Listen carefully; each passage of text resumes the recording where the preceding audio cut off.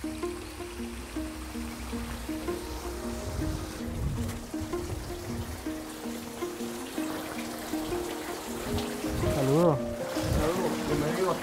Y el problema que tenemos, estamos teniendo acá en Caimito es que han desplazado toda la gente de la comunidad y este y otro con desarrollo eh, donde no tienen que haberlo, encima de cuerpos de agua y con el menosprecio de la comunidad.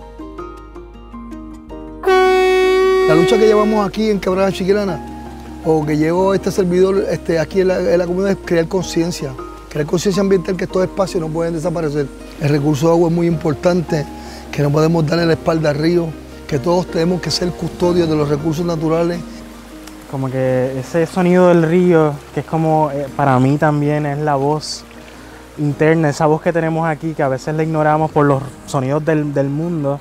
A veces le bajamos el volumen y esa voz yo le llamo río también, que simboliza el no estancarse, el, continuar, el transformarse a través de, todo el camino, ¿no? Que así mismo es la vida, ¿no? Eh, no hay como una meta, sino es como un camino donde siempre te estás transformando. Pero tenemos que tener contacto con la naturaleza. El agua es vida y sin el agua no, eso, no, no, va a haber vida porque no crecen ni las plantas y, y moriríamos nosotros. Que hay que, que hay que proteger el agua.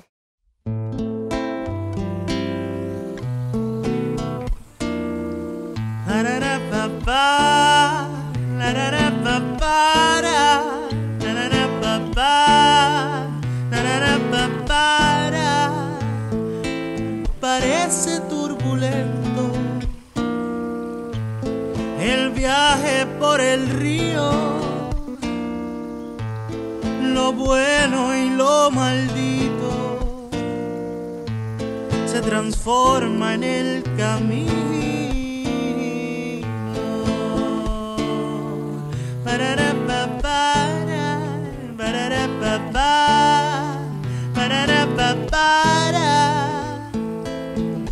Se escucha claramente la voz de lo profundo, tan clara y tan activa, ya no es solo murmullo.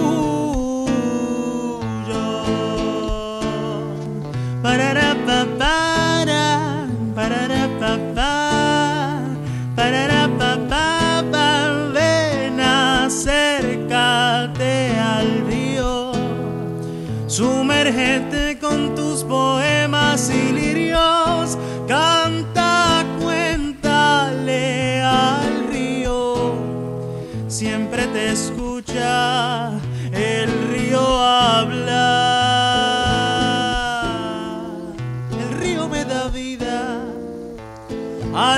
Le dedico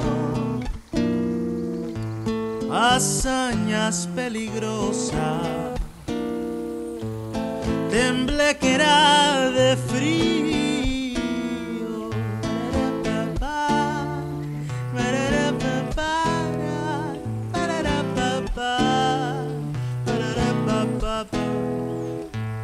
Hoy las viejas historias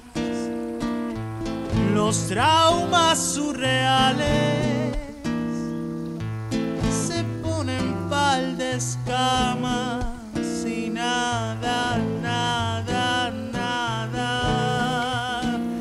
Ven, acércate al río,